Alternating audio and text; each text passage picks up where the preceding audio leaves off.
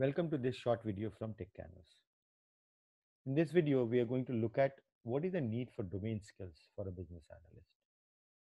Which are the popular domains? What are the challenges of having good skills on domain? And what does our course cover? So Techcanvass offers business analyst certification courses along with domain training. My name is Abhishek Srivastava. I'm a blogger, I'm an author, and I have been into IT for several decades. These are some of the books which I've authored, and they're available on Amazon.com. Just have a quick look on the role of a business analyst so that I can create the foundation for laying down the importance of domain knowledge. As a business analyst, you are constantly in touch with customer to understand what of the problem. That means what is to be done in the software. When you're talking to the customer, you are trying to understand the business and the business processes of the customer domain. And then you are trying to convert them into detailed requirements which your technology team can understand. And once the solution is ready, you need to test it before it is given to the customer for their round of testing.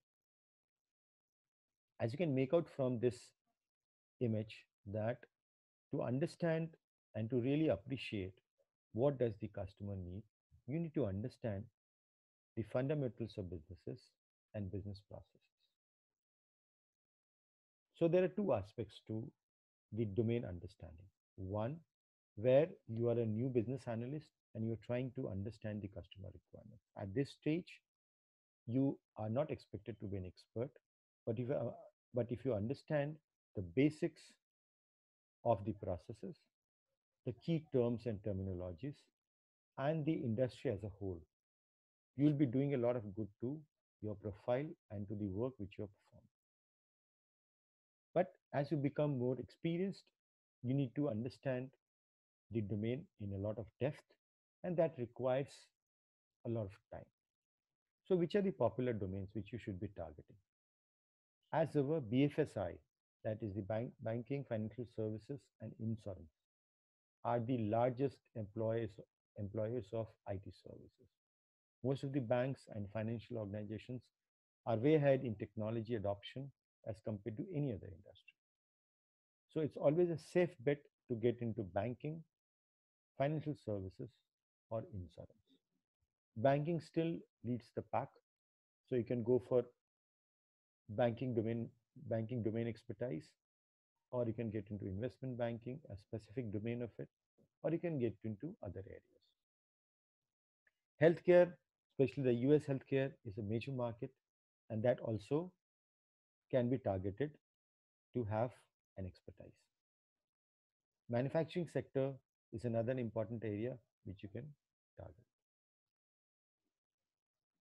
But there are certain challenges with domain training. It is not directly proportional to the number of trainings or the months of training you spend.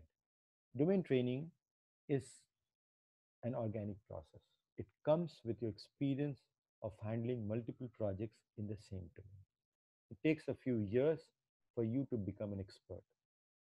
And if you are targeting your career path in this manner, you need to constantly work on a particular domain. It is time consuming. So, since it's an organic process, it is time consuming. It takes many years to build that domain expertise. So, for if you are a new business analyst, what you should do? You cannot be an expert by undergoing a three months or four months training because it's something which is not related to you you don't understand it even from the basics. It, it is very difficult for you to gain an expertise by undergoing a long term training in a domain. Because understanding comes with the application of the understanding. Unless you apply it practically it's difficult to understand something which is theoretical and something which is related to processes so what we have realized is that for people who are new and they are getting into a particular domain, they should start with a strong foundation. You should start by understanding what this industry is all about, how does it function, what are the key aspects of it, and then start working on the projects related to that related to that domain so that you get into the depth of the understanding of the domain. So based on that understanding, we have created three courses which focuses on domain training as well as business analyst certifications. So these courses are primarily targeted at people who want to do understand business analyst skills and also get a basic of the domain or the industry which are listed here. So we have course on banking domain, trade finance, which is an important sector of commercial banking and investment banking. Investment banking is a course which is going to be launched in January 2018. All these courses target you, target the participants in the course first on preparation of the certification.